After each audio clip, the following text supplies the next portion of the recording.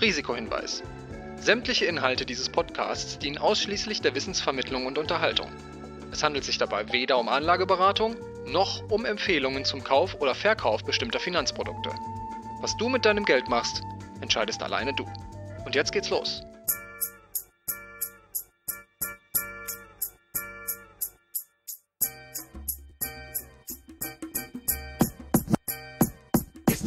She Speaks Finance. Dein Investmentstart mit Barbara und Christine.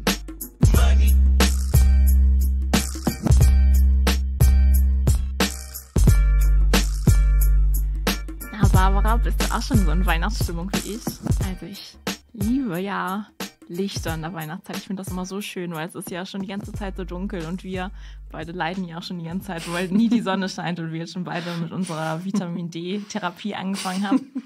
Aber weil ich ja immer noch keine Tageslichtlampe habe, habe ich jetzt dafür ganz viele Lichterketten in meiner Wohnung aufgehängt.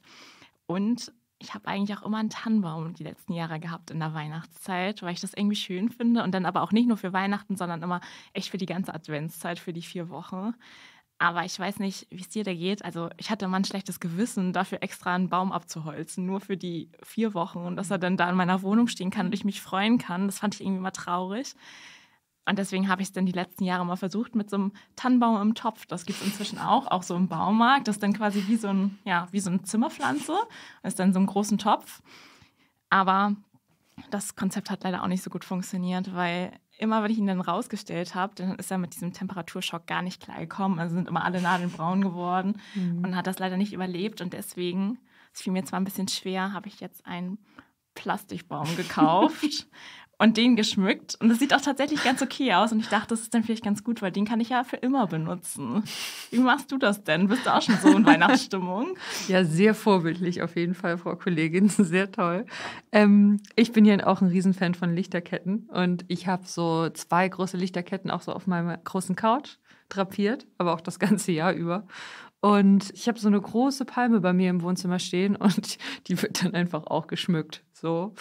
Und, und dann hängst du da richtig Kugeln ran? Ja, so Kugeln und so andere Kleinigkeiten und ja, wie so ein Weihnachtsbaum. Und ich habe das große Glück, dass ich eine Nachbarin habe, die immer so einen richtig schönen, großen, traditionellen Weihnachtsbaum schmückt und die wohnt bei mir im Haus. Und dann kann ich einfach eine Etage runtergehen und dann habe ich auch meinen Weihnachtsbaum. Und wir haben uns einfach darauf geeinigt, dass wir dann ja quasi einen Baum sparen und dass es ja total nachhaltig ist, wenn wir das so machen. Das ist auch ein echter Baum, ist kein Plastikbaum. Ja, na toll, dann hat sie ein schlechtes Gewissen und fühlt sich voll gut. ja, genau, aber dafür kriegt sie Plätzchen von mir geschenkt. Also wir haben da so einen Deal. Ich merke schon Arbeitsteilung zu Weihnachten. genau, ja, alle sind glücklich. Ja, aber auch generell so dieses Thema Nachhaltigkeit ist ja auch im Alltag echt nicht so einfach umzusetzen. Und ja, jetzt nicht nur beim Weihnachtsbaum, sondern auch generell ist es echt ganz schön schwer, finde ich, bei vielen Sachen dann wirklich nachhaltig zu leben. Nachhaltig investieren ist ja auch gar nicht so leicht, bis man sich da so durchgesucht hat, was man so finden kann, auch um wirklich nachhaltig zu investieren. Und wir haben uns auch noch mal ein bisschen umgeschaut und haben sogar einen Fonds gefunden, der nur von Frauen geleitet wird. Das ist ein Fonds mit Fondsmanagerin Katharina Seiler von der DWS.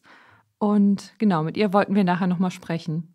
Genau, wir fanden das Projekt nämlich so cool und äh, die legen quasi auch nicht nur den Fokus auf Umweltthemen, sondern auch auf soziale Themen. Und das fanden wir irgendwie richtig spannend und haben dann auch vor längerer Zeit mit ihr gesprochen. Und dann kochte leider auch dieses Greenwashing-Thema hoch. Das haben ja einige von euch vielleicht auch mitbekommen, dass ähm, ja, es da eine Razzia gab und ja, diese ganze Fondsbranche dann so ein bisschen kritisch betrachtet wurde ob das eigentlich alles wirklich so nachhaltig ist. Und das hat ja auch viele Anleger sehr verunsichert. Ich glaube, wir haben uns da auch viele Gedanken drüber mhm. gemacht oder wir investieren ja auch beide in nachhaltige ETFs. Und ja, das ist auch immer gar nicht so leicht, da was Gutes zu finden. Und deswegen ja, war es uns auch wichtig, ja, neben dem Gespräch mit Katharina Seider vielleicht auch nochmal die andere Seite zu beleuchten. Und deswegen sprechen wir diese Woche erstmal mit ihr und dachten, wir machen da so ein kleines Nachhaltigkeitsspezial draus und reden dann nächste Woche noch mit einer Aktivistin von Greenpeace, mit Marie Kuhn, um das Ganze nochmal von der anderen Seite zu beleuchten.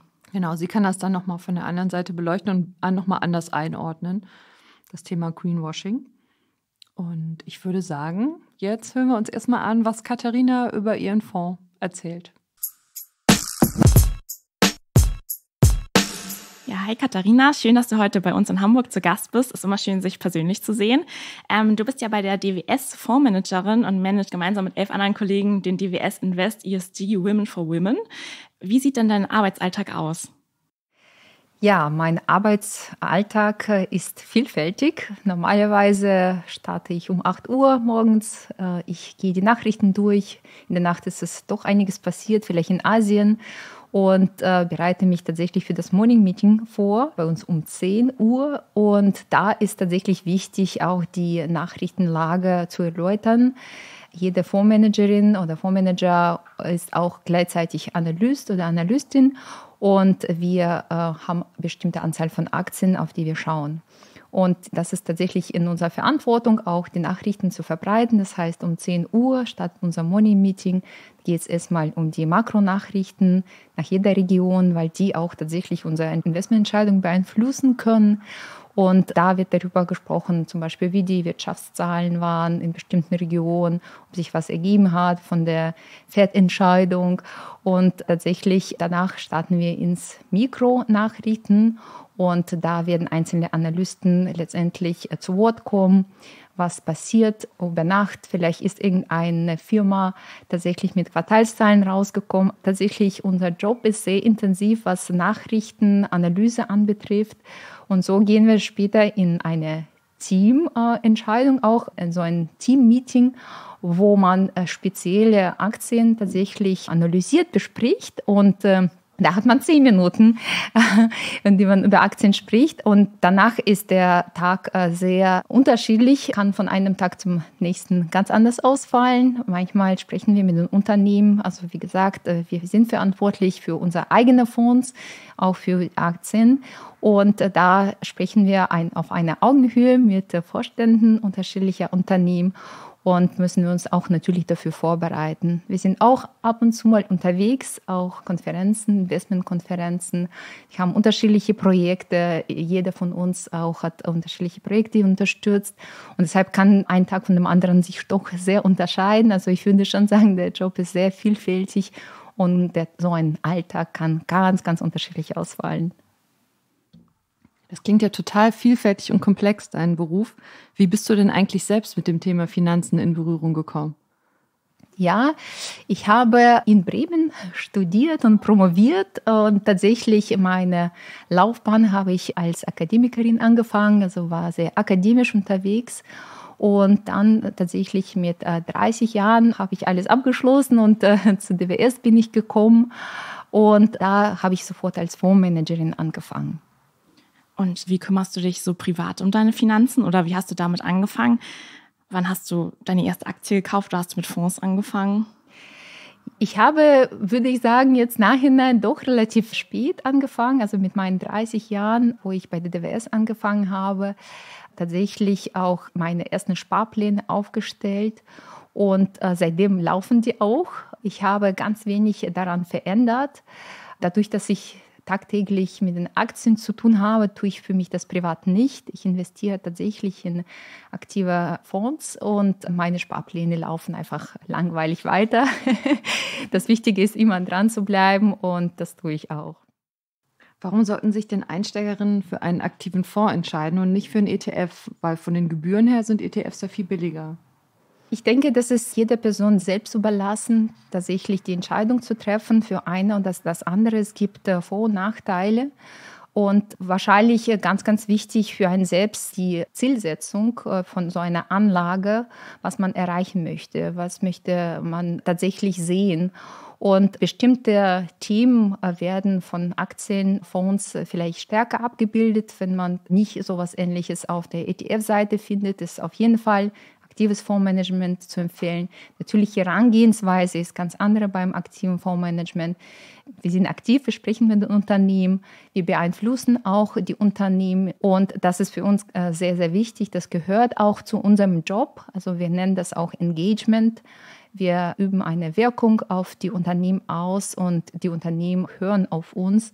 Und das ist zum Beispiel in diesen Aspekten der Nachhaltigkeit für uns ein sehr, sehr großer Fortschritt und ganz, ganz wichtig für uns.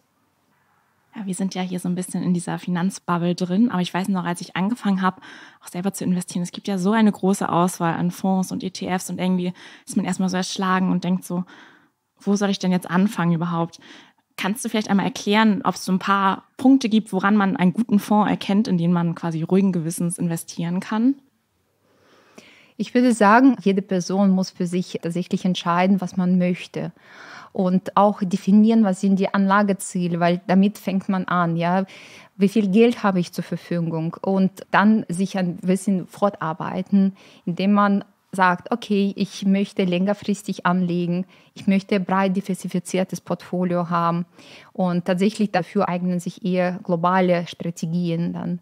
Oder möchte man einem bestimmten Trend folgen? Also es gibt sehr viele interessante Themen, die man aktuell spielen kann, auch durch die ETFs oder durch die aktive Fonds. Und das ist halt sehr persönlich. Wir haben tatsächlich auch mit den Kollegen besprochen, jeder hat so eigen ähm, Vorlieben oder tatsächlich Ziele, die man erreichen möchte. Möchte man für Alter sparen oder möchte man ein bestimmtes finanzielles Ziel erreichen? Und das ist absolut wichtig. Ist man so ein ITer im Sinne von, möchte man dieses Thema IT-Entwicklung, Digitalisierung spielen? Oder ist man Richtung Medizin eher unterwegs? Oder möchte man äh, sich für gar nichts entscheiden und dann sagt man, okay, ich gehe auf ein globales Produkt oder eher ein defensives Produkt, da wären vielleicht Dividendenprodukte eher wichtig. Deshalb ist es äh, sehr, sehr unterschiedlich. Man muss wirklich wirklich für sich selbst entscheiden, was man möchte. Und ich glaube, wir haben tatsächlich, wie du gesagt hast, eine breite Palette von Produkten und Strategien und die Informationen sind tatsächlich vorhanden. Ja, ich würde immer anfangen mit dem Depot. Depot auflegen ist ganz, ganz wichtig. Wir haben schon vorhin das Thema besprochen. Es ist tatsächlich noch nicht so weit, dass jeder Mensch ein Depot hat. Früher war das selbstverständlich, ein Konto zu haben oder jetzt eher. Aber deshalb ist nach vorne raus für uns auch ganz wichtig, dass äh, jeder Mensch einfach Depot besitzt und unsere Kinder damit groß werden und das als selbstverständlich erhalten. Ja. Nachhaltige Fonds ist ja gerade so ein ganz großes Anlagethema und auch gerade unter Frauen oder unter unseren Bekannten ist das so ein Thema, was ganz viele interessiert, weil sie nachhaltig investieren wollen und nicht nur diesen Renditegedanken haben. Wie kam das denn dazu, dass du dich für nachhaltige Investments interessiert hast und jetzt diesen Fonds leitest? Nachhaltigkeit als Thema hat mich schon immer interessiert. Ich kann mich noch erinnern, wie ich 2007 tatsächlich angefangen habe bei der DWS und habe mich auch selbst gefragt, wie kommt ein äh, Fondsmanager dazu, bestimmte Aktien zu haben oder nicht haben. Hat dann jeder Fondsmanager eigene Prinzipien. Tatsächlich mit der Zeit hat sich das entwickelt mit dem ESG, dass wir auch regulatorischen Framework sozusagen haben, dass äh, diese Nachhaltigkeitsteam angeboten werden und äh, gelebt werden. Tatsächlich verwalte ich aktuell nur nachhaltige Fonds und das interessiert mich schon sehr. Also vor über zehn Jahren habe ich zum ersten Mal die Idee gehabt, den äh, Women for Women Fonds aufzulegen und da tatsächlich auf die sozialen Aspekte äh, erstmal den Fokus zu legen. Ja, weil wir in den letzten Jahren sehr, sehr viel über Umwelt und Unternehmensführung gesprochen haben, waren die sozialen Themen so ein bisschen weniger im Vordergrund. Für mich war das schon damals sehr, sehr spannend, aber vor über zehn Jahren waren die Datenlage noch sehr, sehr dünn. Und deshalb war es für uns sehr, sehr schwer, Unternehmen Note zu vergeben aufgrund des Sozialen. Und das ist halt tatsächlich jetzt erst in den letzten Jahren passiert, dass wir die Daten erfassen konnten, die Datenlage sich verbessert hat. Euer Fonds zielt ja quasi auch speziell auf die Bedürfnisse auch von Frauen ab. Warum braucht es denn so ein Fonds oder so ein Finanzprodukt für Frauen aus deiner Sicht? Ja, das ist ein spannendes Thema. Ich glaube, wenn wir in einer perfekten Welt wären, dann hätten wir wahrscheinlich sowas nicht gebraucht. Aber die Fakten sprechen für sich, dass die Frauen tatsächlich leider immer noch sehr wenig investieren. 80 Prozent der Frauen sparen regelmäßig, aber nur jede achte Frau investiert in Aktienfonds. Und da die Frauen tatsächlich zu der ärmeren Hälfte der Bevölkerung gehören, müssen die tatsächlich was tun und aktiv tun. Denn wenn sie älter werden, dann vergrößert sich deren Versorgungslücke. Und deshalb ist es für uns tatsächlich so eine Herzensangelegenheit, äh, den Frauen zu sagen, ihr müsst aktiv werden. Und wir haben einfach uns äh, die Produktpalette angeschaut, die am Markt ist und äh, auch festgestellt, dass die Frauen von den bestehenden Anlagenstrategien nicht angesprochen werden oder die fühlen sich nicht angesprochen. 70 Prozent der Frauen fühlen, dass für sie zugeschnittene Anlageprodukte tatsächlich kreiert werden müssen, äh, laut der Umfragen. Und deshalb haben wir auch gedacht, vielleicht ist es tatsächlich so, dass man die Frauen so ein bisschen aus der Sicht gelassen hat und dass tatsächlich auch an Frauen nicht gedacht wurde. Vielleicht möchten sie auch anders investieren. Frauen sind sehr soziale Wesen, die kümmern sich tatsächlich sehr, sehr viel um andere und äh, Frauen spenden viel häufiger. Also das haben wir auch tatsächlich festgestellt. Und das ist so spannend, dass wir auch gesagt haben, eigentlich dieses soziale Thema ist es auch ein Stück Frauenthema. Und deshalb setzen wir das auch in Fokus. Wir setzen auf das Soziale und möchten auch einen Schritt weiter gehen. Wir üben eine Wirkung auf die Unternehmen aus, auch im Sozialen sich zu verbessern. Und das ist so ein Gedanke der Weltverbesserung tatsächlich da mit dabei, das auch äh, den Frauen eigentlich anspricht. Was wir bei der Recherche auch total interessant fanden, war, dass du einen Fonds managst, der aus zwölf Fondsmanagerinnen besteht. Wie ist es denn bei euch so im Alltag? Arbeitet ihr anders als männliche Fondsmanager oder gibt es da gar nicht so große Unterschiede? Im Grunde arbeiten wir genauso wie unsere männlichen Kollegen. Wir alle gehören zu unterschiedlichen Teams. Ja, und das ist für euch vielleicht, äh, damit ihr das bildlich vorstellen könnt. Wir haben unterschiedliche Teams auf der Aktienplattform und die haben, verfolgen unterschiedliche Strategien. Zum Beispiel ich äh, gehöre seit 15 Jahren zu dem Dividendenteam. Wir sind eher so defensive Investoren. Für uns ist das Risiko sehr, sehr große Komponente. Und zwar kommen wir vielleicht in den sehr starken Aktienmärkten nach oben nicht mit, aber dafür geben wir so eine Sicherheit, wenn die Märkte nach unten gehen. Und äh, meine Kolleginnen kommen aus anderen Teams, wo vielleicht Wachstum eher tatsächlich das Thema ist. Oder es sind kleinkapitalisierte Unternehmen oder es ist Europathema. Und es ist tatsächlich der einzige Fonds, der global aufgestellt ist, aber die Analyse aus unterschiedlichen Teams bezieht. Das heißt, alle meine Kolleginnen, die für diesen Fonds mitarbeiten, tatsächlich diese Expertise reinbringen und das ist unglaublich spannend. Denn tatsächlich, wir sind von unseren Teams geprägt, ja, und das ist tatsächlich geschlechterneutral, weil wir diese Expertise mitbringen und tatsächlich für unseren Fonds das Beste rausnehmen und das abwiegen, unabhängig dann tatsächlich von einem Stil.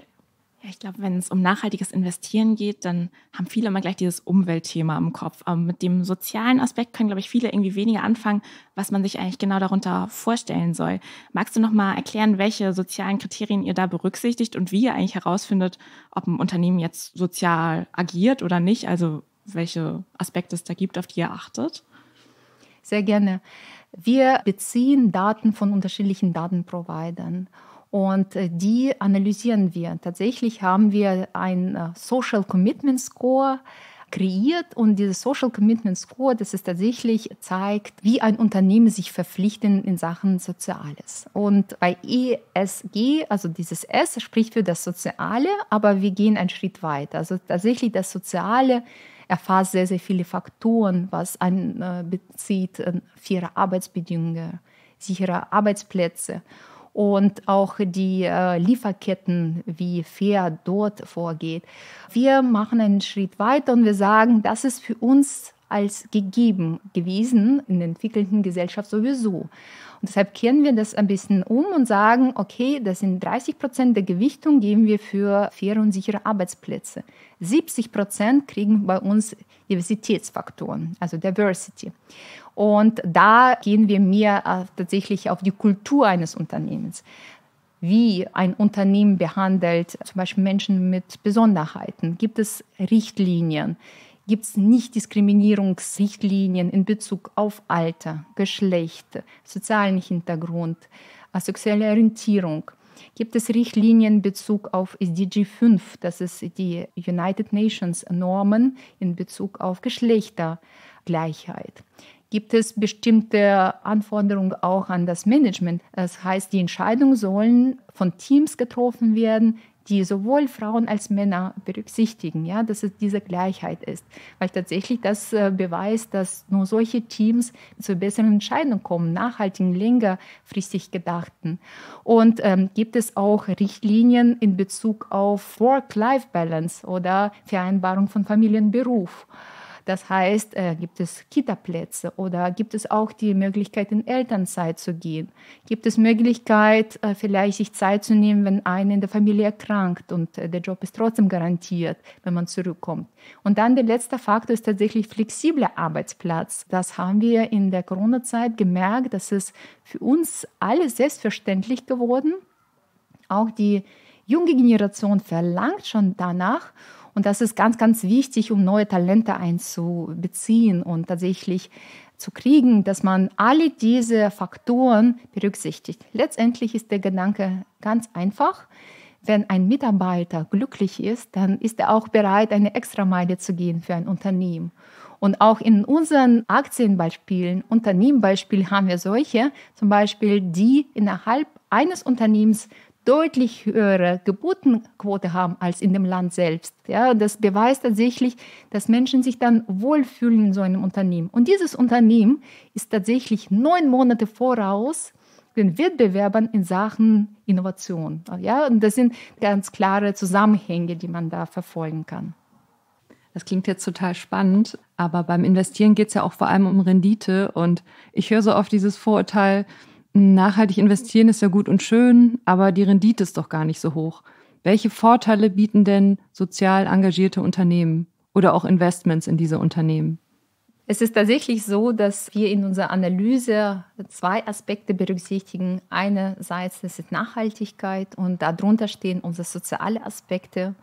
Und äh, das andere ist äh, tatsächlich unsere Analyse der Aktien, die fundamentale Analyse, wo wir grundsätzlich schauen, was ist ein Businessmodell von einem Unternehmen? Was ist die Qualität eines Unternehmens anhand der Bilanz? Ja, was ist das Management? Welche Ziele verfolgt das Unternehmen? In welcher Branche agiert es? Was ist Wettbewerbsvorteile? Das alles gehört zu der fundamentalen Analyse und nennen wir das. Das ist tatsächlich diese Recherche, die wir betreiben. Und die betreiben wir mit dem Ziel, wachstumsträchtige Unternehmen, nachhaltig agierende Unternehmen zu identifizieren. Und das ist absolut entscheidend, tatsächlich, wenn wir diese beiden Kriterien evaluieren, das Soziale im Unternehmen auch und das Wachsende im Unternehmen oder das Treibende im Unternehmen, das ist das, was äh, zum Erfolg eines Unternehmens führt und das ist tatsächlich für uns sehr wichtig. Aber letztendlich so eine Analyse führt für uns zu einem größeren Erfolg und äh, tatsächlich nachhaltiger, das heißt längerfristig orientiert äh, zum größeren Rendite-Risiko, bessere Ausrichtung. Und wir sind alle Analystinnen und Expertinnen tatsächlich in dem, was wir tun. Und das ist unsere Fundamentalanalyse. Wir schauen uns Unternehmen aus unterschiedlichen Richtungen an. Wir schauen die Bilanzen. Wir schauen, wie nachhaltig das Unternehmen agiert. Was ist die Cashflow-Generierung? Wie ist das Management? Und da sind alle Aspekte der klassischen Fundamentalanalyse, die wir tatsächlich mit Nachhaltigkeit kombinieren. Erst wenn Unternehmen beide Kriterien erfüllt, kommt das Unternehmen bei uns tatsächlich ins Portfolio.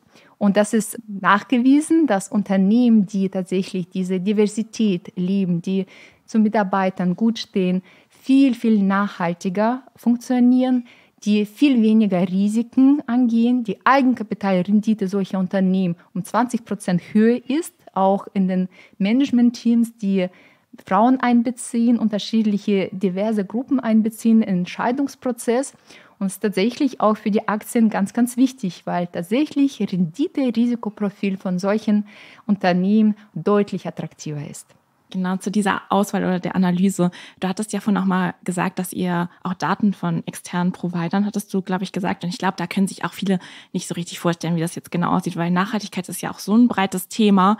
Und da gibt es ja irgendwie tausend Kriterien, auf die jetzt wer mehr oder weniger Wert legt. Und wie kommt das bei euch an? Also kriegt ihr denn irgendwie so von Unternehmen XY beispielsweise, das ist jetzt hat eine Schulnote 1 und das hat eine Schulnote 5 oder welche Kriterien bekommt ihr da und wie wählt ihr da aus, was besser oder was schlechter ist? Ich glaube, ich muss viel, viel früher rausholen, also wo dieser Prozess anfängt. Und tatsächlich, diese Datenanbieter, die sammeln sehr, sehr viele Daten. Und die schauen sich auch die Unternehmen an, so wie wir, aber aus einer anderen Brille. Die schauen sich unterschiedliche Faktoren an. Und einerseits natürlich beziehen die öffentlichen Informationen, wie ein Unternehmen aufgestellt ist. Und das betrifft Umwelt, das betrifft Soziales, Unternehmensführung aber auch beziehen die Informationen, die ein Unternehmen selbst zur Verfügung stellt. Das heißt, es gibt Fragebogen, die Unternehmen erhalten und diese Fragebogen müssen ausgefüllt werden. Das ist nicht so einfach natürlich. Äh, man würde sagen, ach, man kann doch tricksen bei solchen Sachen. Nein, das ist tatsächlich diese Datenanbieter, die beziehen sehr, sehr große Daten von Unternehmen und die werten die aus. Und da wird sehr vieles geprüft, wie die Qualität dieser Daten ist. Und es nur auf eine Formalität ist oder tatsächlich Unternehmen diese Sachen lebt, ob das auch nur im Hauptquartier gelebt wird oder auf der breiten Lieferketten und so weiter ausgeprägt. Und das bezieht alles der Datenanbieter, evaluiert das und verpackt es in unterschiedliche Faktoren. Und das kaufen wir als Daten ein und tatsächlich werten das noch selbst aus. Wir haben auch eigene Mathematiker, Informatiker, die auch mit Hilfe von statistischen Methoden das ganz schön verpacken. Und für uns haben wir tatsächlich das konzipiert, was so ein äh, Score, nennen wir das, tatsächlich aussagen soll. Und wir messen das letztendlich als ein Kriterium, was uns rausgibt, also mehr als nur das, was die Datenanbieter innerhalb von eines Faktors zum Beispiel äh, zeigen konnten. Nehmen wir an, wir haben unterschiedliche Kennzahlen, also auch bei der DWS schauen wir auf Umwelt, wir zum Beispiel, wie ist das Risiko in Bezug auf Klima, wie ist tatsächlich die Kontroverse in Bezug auf Normen oder wir mit unserem Social Commitment Score, was sind tatsächlich die Verpflichtungen eines Unternehmens in Richtung der Soziale, Beziehung zu Mitarbeitern. Und das ist tatsächlich so unterschiedliche Noten, die wir innerhalb unseres Unternehmens vergeben den einzelnen Unternehmen durch diese Daten, die wir einkaufen. Klingt unglaublich kompliziert, erfasst natürlich sehr, sehr viele Schritte und ich muss auch sagen, das ist ein unheimlicher Prozess, der über die Jahre gewachsen. Ich habe vor fünf Jahren selbst diese Prüfung abgelegt, äh, zertifizierte Analystin äh, in ESG-Sachen.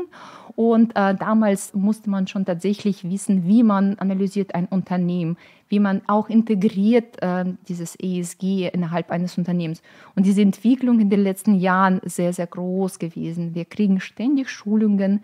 Wir müssen tatsächlich auch immer uns weiterbilden bilden, weil das Thema tatsächlich Nachhaltigkeit sehr, sehr viele Facetten hat. Und wir selbst, wir haben noch eine sehr große Entwicklung vor uns, weil tatsächlich nachhaltig leben, wir können jetzt ohne viele Sachen nicht äh, existieren, aber wir müssen den Weg finden, wie wir eine bessere oder zumindest gleiche Welt unseren Nachkommen hinterlassen. Und das ist natürlich in unserer Pflicht, tatsächlich dies zu tun, auch mit unserem Investment. Bei nachhaltigen Investments haben ja viele Anlegerinnen auch immer Sorge, dass es wirklich so grün ist, wie es denn jetzt aussieht. Wie stellst du denn sicher, dass die Unternehmen, die du auswählst für den Fonds, dass die wirklich nachhaltig sind?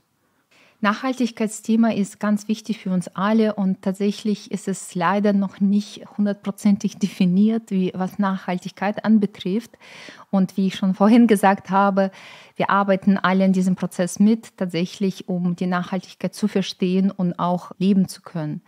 In unserem Fonds folgen wir einem ganz klaren Prozess. Das heißt, wir nehmen das ganze globale Universum und filtern zuerst nach den Nachhaltigkeitskriterien, die wir definiert haben. Und dabei schließen wir bestimmte Branchen aus und äh, wir tatsächlich auch schauen nach bestimmten Themen, wie zum Beispiel das Klimathema. Da schließen wir bestimmte Unternehmen aus, die großen CO2-Ausstoß haben oder bestimmte Risiken bergen. Und so gehen wir vor bis wir tatsächlich auf das Thema Soziale kommen. Und da vergeben wir wiederum Noten anhand von unserem Social Commitment Score, von dem ich schon gesprochen habe. Und wir geben tatsächlich die schulischen Noten letztendlich ab. Die gehen von A bis F. E und F sind die schlechtesten, die exkludieren wir und wir gehen mit den Unternehmen von A, B, C und D tatsächlich in unser Investment rein und die, das sind die, mit denen wir Gespräche führen, Dialog führen, weil die vieles noch zu verbessern haben. Und das ist tatsächlich so in unserem Prozess. Äh, wir haben den Prozess aufgebaut, dem folgen wir und natürlich verbessert sich die ganze Zeit die Datenqualität. Die Unternehmen von sich selbst müssen was verändern.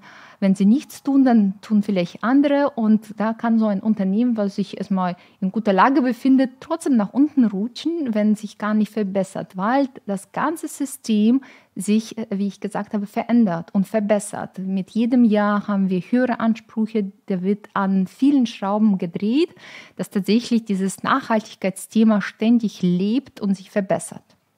Du hattest ja gerade gesagt, ihr redet dann auch mit dem Unternehmen. Und ich glaube, so von außen betrachtet kann man sich immer gar nicht vorstellen, wie das so abläuft. Geht ihr dann zum Manager hin und sagt so, Entschuldigung, wir finden, ihr stoßt zu viel CO2 aus, macht mal die Hälfte? Oder wie kann man sich das so vorstellen? Also was könnt ihr da für Forderungen stellen? Wie läuft das ab?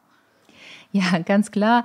Wir sind als Fondsmanager und Analystinnen tatsächlich, äh, haben ein Privileg, sage ich so, erstmal auf der Augenhöhe mit äh, Unternehmen zu sprechen, mit den Vorständen, mit CEOs und CFOs dieser Welt. Und die Unternehmen teilweise kommen selbst auf uns zu, die gehen auf eigene Roadshows und besuchen uns oder manchmal haben wir tatsächlich auch selber den Wunsch geäußert und vereinbaren so einen Termin mit den Unternehmen. Und da betrachten wir unterschiedliche Themen. Also es geht um die aktuelle Situation. Also wie ist aktuell zum Beispiel die Lage auch in Unternehmen, vielleicht aus anderen Regionen. Wie ist Wettbewerbssituation? Wie ist tatsächlich insgesamt Business? Was sind wichtige Sachen, Kriterien, Faktoren? Und dann gehen wir tatsächlich auf das Thema Nachhaltigkeit rüber und auch wir haben in den Unternehmen, zum Beispiel ich bin Analystin für nordamerikanische Unternehmen und äh, seit mehreren Jahren spreche ich tatsächlich mit US-amerikanischen Unternehmen über Umweltthemen. Und äh, man muss schon sagen, dass zum Beispiel bei Amerikanern dieses Umweltbewusstsein ist tatsächlich viel, viel später dazu gekommen, aber die haben auch sehr viel Wert darauf gelegt, was für uns wichtig ist, weil sie immer sich mit den anderen vergleichen, mit ihren Mitwettbewerbern. Und tatsächlich folgen die Ratschlägen, die wir aussprechen, da sie zum Beispiel viel Transparenz geben wie viel Plastik oder CO2 die emittieren, wie viel Wasser sie verwenden. Allein wenn sie diese Transparenz geben, dann sehen sie bestimmte Punkte, wo die was nachbessern müssen. Und so mit dem Thema gehen wir auch mit dem Sozialen auf das Unternehmen und sprechen wir jetzt nicht nur über Umweltthemen, Führungsthemen, sondern auch über soziale Themen. Und sagen den Unternehmen, für uns ist ganz wichtig, dass ihr erstmal transparent werdet, wie ihr zum Beispiel mit unterschiedlichen Menschen mit Besonderheiten umgeht, wie ist überhaupt die Frauenquote im Management? Gibt es bestimmte flexible Arbeitsmodelle für die Mitarbeiter? Und dann fangen die Unternehmen an, tatsächlich äh, darüber nachzudenken. Und wenn sie die Zahlen veröffentlichen, dann wollen sie auch nicht die schlechtesten sein. Und sie fangen an, sich zu verbessern. Und da sehen wir einen großen, großen Hebel, mit dem wir tatsächlich nach vorne auch in diese Richtung gehen können, was ich zu Anfang gesagt habe, in, in die Verbesserung. Du machst das ja jetzt schon einige Jahre. Hat sich da in den letzten Jahren was verbessert bei den Unternehmen oder ist da mehr Awareness für Nachhaltigkeit? Ich würde sagen, auf jeden Fall, dass es tatsächlich sehr, sehr stark geschäft wurde äh, für alle Unternehmen, egal welche Region. Und ich sehe es auch bei den Ratings, da Unternehmen, die ich betreue seit mehreren Jahren, tatsächlich sich verbessert haben und das ist sehr, sehr erfreulich, weil man tatsächlich, ich bin nicht allein, die mit diesen Unternehmen spricht. Es gibt auch andere Fondsgesellschaften. Und es ist ganz, ganz wichtig, dass wir tatsächlich von allen Seiten diese Wirkung ausüben. Und da sieht man ganz, ganz klar in der Verbesserung der Kennzahlen, in der Verbesserung von diesen Ratings. Und wie ich schon gesagt habe, das bleibt dieser Prozess immer in Bewegung, weil da kommen neue Kennzahlen, da kommen neue Ansprüche. Und da sieht man tatsächlich, dass es funktioniert. Ich glaube, dieses Nachhaltigkeitsthema interessiert ja total viele. Und ich glaube, gerade auch viele Frauen würden auch gerne nachhaltig investieren. Hast du da Tipps für Frauen, die jetzt gerade anfangen zu investieren, wie sie am besten nachhaltig anlegen können, also oder wo sie da mal gucken können? Ich würde jeder Frau erstmal erraten, tatsächlich ein Depot aufzulegen. Das ist ganz, ganz wichtig. Und dann natürlich das, was wir schon besprochen haben, erstmal sich im Klaren sein, was die eigenen Ziele, Anlageziele anbetrifft, was es Anlagehorizont ist und tatsächlich nach den Themen zu schauen, was einen äh, zusagt. Ist es Umweltthema? Ist es ein äh, Thema Richtung Soziales? oder es ist ganzheitliches Thema, ja. Und es gibt sehr, sehr viele Portale, Vergleiche, Frauen hören auch auf andere Frauen gerne und äh, tatsächlich darüber zu sprechen ist absolut entscheidend, weil allein durch diesen Dialog entstehen tatsächlich diese Denkanstöße und äh, da ist es tatsächlich, ich denke auch die Po von jeder Frau würde ganz anders aussehen. Wir haben tatsächlich auf dem Weg hierhin auch äh, das Thema diskutiert und das fanden wir auch ganz, ganz lustig, weil tatsächlich auch jeder von uns interpretiert das auch ganz anders, was für eine ähm, wichtig ist, wie viele Anlagen hat sie, mit wie viel Fonds spart sie dann ein. Und das ist, glaube ich, schon eine so eine persönliche Sache, mit der man sich wohlfühlen soll. Ja. Wenn du heute mit deinem Wissen, was du ja über Jahrzehnte angesammelt hast, nochmal anfangen würdest zu investieren, wie würdest du da vorgehen? Ich würde auf jeden Fall ganz früh anfangen. Ich würde nie auf den richtigen Zeitpunkt warten, weil tatsächlich meine Denke damals war, als ich noch promoviert habe und diese akademische Laufbahn hatte, ich dachte immer, eines Tages werde ich ganz viel Geld verdienen und damit äh, tatsächlich alles kompensieren, was ich vorhin nicht gemacht habe. Aber die Lebenssituation, die verändert sich auch ständig und tatsächlich hat man dann auch höhere Ansprüche. Man hat vielleicht ähm, eine Familie, man hat vielleicht Kinder, man möchte vielleicht ein Haus bauen. Es ist tatsächlich so, dass es äh, nie der richtige Zeitpunkt ist für das Investieren und das Geld reicht nie aus. Und deshalb würde ich jetzt rückwirkend sagen, immer einen Sparplan auflegen und ihn laufen lassen, auch wenn es ganz kleine Beträge sind. Man hat wirklich wenig Hemmung danach, eventuell diesen Betrag zu erhöhen, als überhaupt was aufzulegen, ersten Schritt zu machen. Das ist so entscheidend, weil tatsächlich bei diesem ganzen Investmentgedanke muss eine wichtige Komponente dabei sein. Das ist dieses Zinseszinseffekt. Also das ist tatsächlich viele, vielleicht erinnern sich aus der Schule, aber Zinseszinseffekt ist absolut wichtig zu verstehen. Das, was man heute als Zinsen für die Anlage gekriegt hat, nächstes Jahr verdient man on top von dem. Und natürlich, wenn die Aktienmärkte nach oben gehen, aber das ist grundsätzlich tatsächlich über die Jahre kumuliert sich da ein riesiger Betrag. Und wenn man denkt, ach, irgendwann mal später fange ich damit an und kompensiert das, das ist fast gar nicht möglich, ja, weil man tatsächlich das nicht mehr tut, weil die Lebenssituation sich verändert. Also ganz früh anfangen mit kleinen Beträgen, immer dabei bleiben, egal welche Märkte wir haben, dass tatsächlich auch man nie rauskommen soll, weil man sich sonst nie wieder reintraut. Das muss man tatsächlich äh, sagen, einfach dranbleiben. Ja, vielen Dank, Katharina, für die ganzen spannenden Einblicke in deine Arbeit und in den nachhaltigen Fonds, den du managst. Hat viel Spaß gemacht. Ich finde das ja total schön, dass es wirklich in der Finanzbranche einen Fonds gibt, den nur Frauen leiten. Also ich habe ja eine Weile in der Finanzbranche gearbeitet und klar haben da auch immer mal Frauen mitgearbeitet in Teams, aber dass es ein Team gibt, wo nur Frauen drin arbeiten, das finde ich schon gerade für diese konservative Finanzbranche, für diese traditionelle, schon sehr erstaunlich. Und ja, ich hatte heute Morgen den Podcast gehört von Janine Uhlmann, Female Finance, und da hatte sie Lena Gerke zu Gast. Und das war auch ein total interessantes Gespräch. Und die hatte auch erzählt, dass sie ihr Unternehmen nur mit Frauen führt. Und ich glaube, 28 Frauen arbeiten mit ihr zusammen. Und ich finde das schön, dass es solche Beispiele gibt. Also die gibt es ja in der Finanzbranche viel zu selten, dass nur Frauen zusammenarbeiten. Ja, ich finde, man kauft Katharina auch diesen Empowerment-Gedanken total ab. Wir hatten ja auch vorher nochmal mit ihr geredet und dass sie da wirklich voll dahinter steht und ja auch wie sie selber ihren eigenen Alltag organisiert mit ihrer Familie und sie hat ja auch Kinder und so. Ich finde das ist wirklich spannend und aber es ist ja nicht nur diese Zusammenarbeit quasi von Frauen bei ihrem Fonds, sondern es geht ja sogar noch weiter. Die arbeiten ja auf verschiedenen Kontinenten, in verschiedenen Abteilungen. Da ist ja wirklich dann ja die globale Aktienabteilung involviert oder Anleihen. Die haben ja, sind ja ganz breit aufgestellt, da arbeiten alle zusammen und ja, bereichern sich da irgendwie bei oder arbeiten remote und dass es überhaupt heute alles so möglich ist, das ist schon irgendwie cool zu sehen, dass das dann so funktioniert und sich irgendwie gegenseitig befruchtet. Das ist schon, ja, irgendwie spannend und mal so ein ganz anderes Bild von dieser Branche, irgendwie so ein modernes. Das ist, mhm. ja, war wirklich sehr erfrischend. Gleich nächste Woche geht es weiter mit dem Thema Nachhaltigkeit. Da sprechen wir nämlich mit der Expertin Marie Kuhn von Greenpeace zum Thema Greenwashing in der Finanzbranche und sie hat da nochmal eine ganz andere Sicht auf die Dinge. Da könnt ihr euch schon mal drauf freuen. Ja, und damit euch bis dahin nicht langweilig wird, folgt uns gerne, liked uns und äh, wir freuen uns auch immer, wenn ihr unsere Folgen auf Spotify oder auf anderen Apps bewertet und uns am besten fünf Sterne gibt. Genau, und dann hören wir uns nächste Woche wieder. Bis dahin genießt die schöne Vorweihnachtszeit.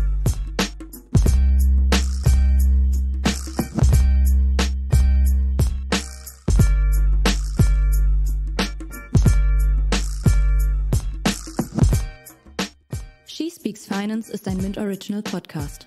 Redaktion Barbara Box und Christine Jans. Produktion und Schnitt Jerit Schmidtke. Für mehr feinen Content folgt uns auf Instagram, TikTok oder LinkedIn.